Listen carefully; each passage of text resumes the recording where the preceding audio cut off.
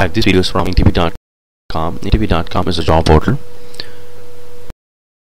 In this video, I'm going to talk about a Spring MVC tutorial. The next question that we are going to discuss is what are the benefits of Spring MVC. In the playlist, we are going to talk about second question, what are the benefits of Spring MVC.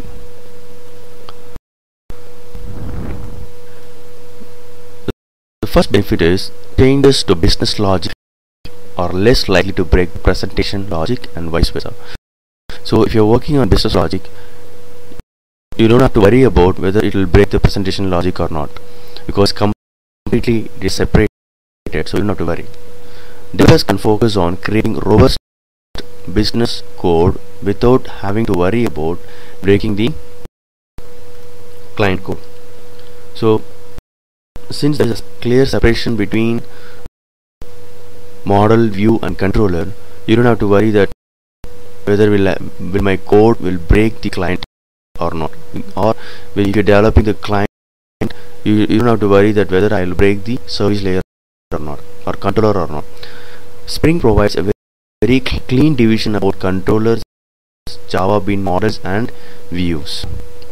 Spring is very flexible entirely based on interfaces. So you know if you're if you're writing programming to an interfaces you, will be really flexible and any modification can be done easily. And writing JUnit test cases for application which is which is written based on interfaces will be really good.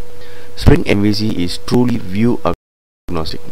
It will never force us to one technology JSP or something. If you don't want JSP you can use Velocity XSLT or any other technology that you're interested